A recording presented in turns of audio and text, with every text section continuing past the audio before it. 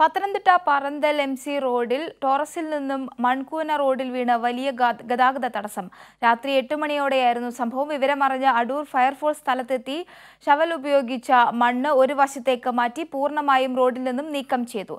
അരമണിക്കൂറിൽ ഏറെ എടുത്താണ് മണ്ണ് പൂർണമായും നീക്കം ചെയ്തത്. ഗതാഗതം പുനഃസ്ഥാപിക്കാനായത് ഏറെ പണിപ്പെട്ടാണ്. ഗ്രേഡ് അസിസ്റ്റന്റ് സ്റ്റേഷൻ ഓഫീസർ സിയാദുവിന്റെ നിയാസുദ്ദീന്റെ നേതൃത്വത്തിലുള്ള ഫയർഫോഴ്സ് സംഘമാണ് രക്ഷാപ്രവർത്തനം നടത്തിയത്.